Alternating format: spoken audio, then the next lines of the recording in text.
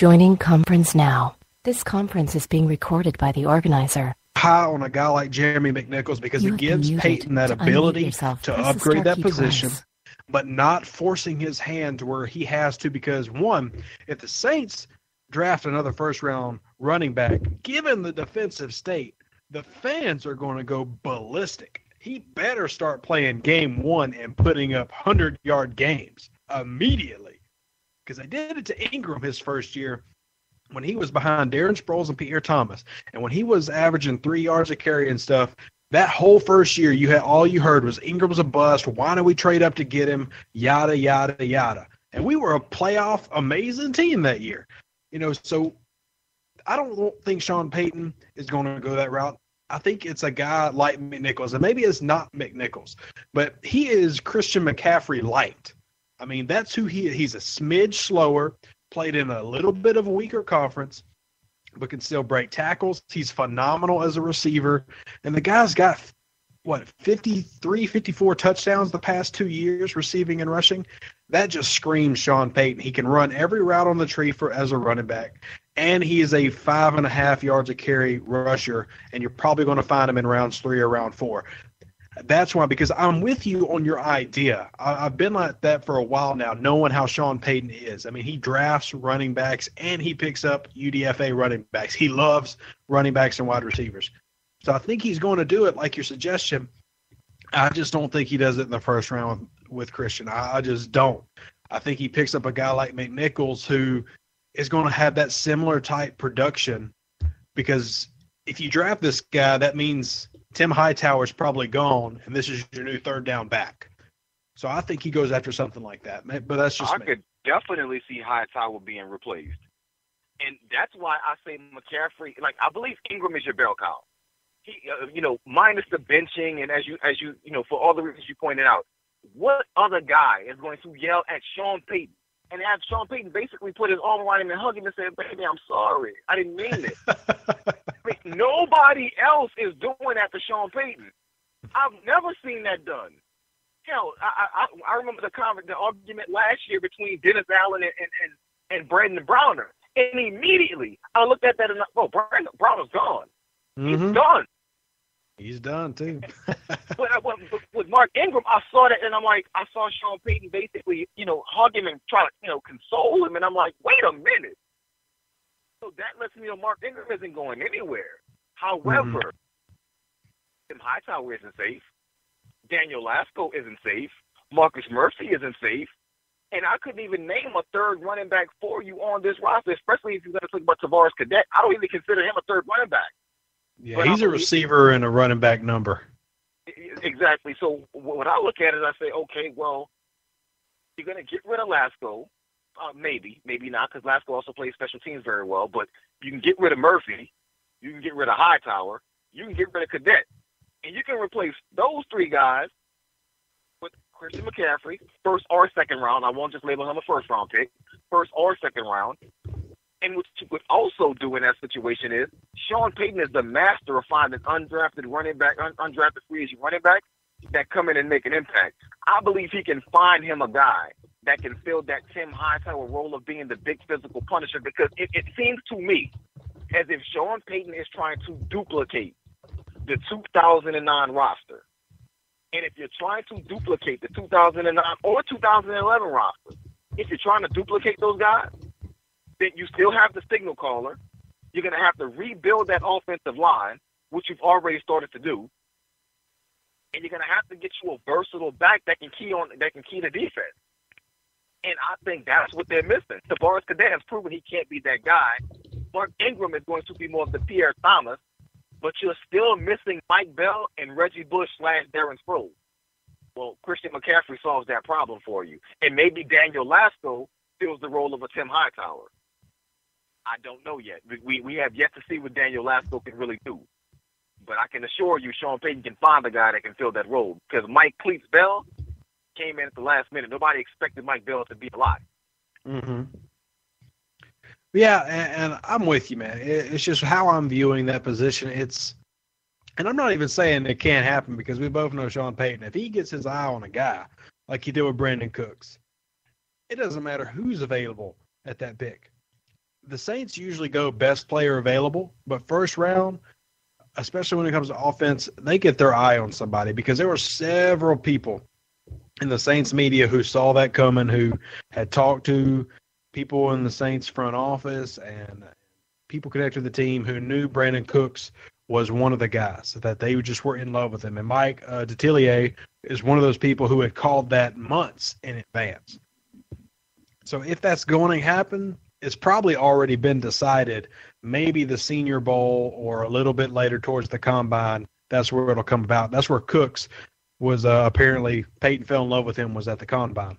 So if it's going to happen, yeah, I'm with you. There's nothing to stop it. That's just Sean Payton. When he gets his mind made up, he wants that player. He's going to get that player. It's just tough for me to believe because I always view things from a logical, analytical, sit back and think about it standpoint, which is very difficult if you're a Saints fan because that's not how Sean Payton does a lot of his stuff. Uh, I just don't see it. I'm not saying it's not possible, and I'm not even saying it doesn't fit Sean Payton's MO because it certainly does.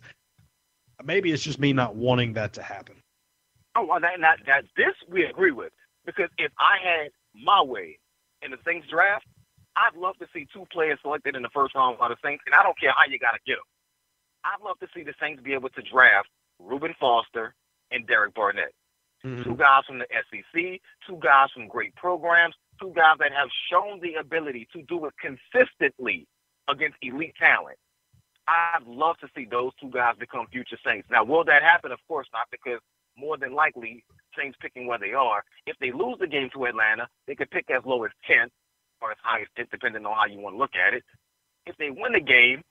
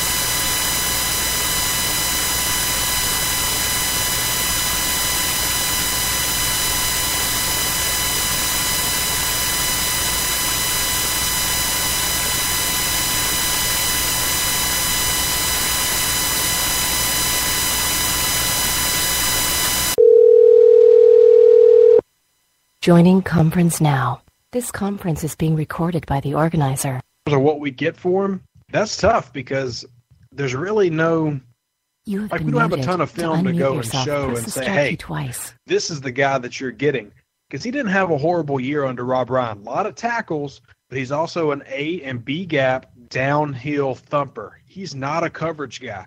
He did better in that one start recently. You know, there's just not a lot that we could probably push forward and say, look, he doesn't fit our system, but he'll fit yours. So I think you'd be looking at optimistically a fourth round type pick for Stephone Anthony if they have to trade him. And that really sucks. scenario.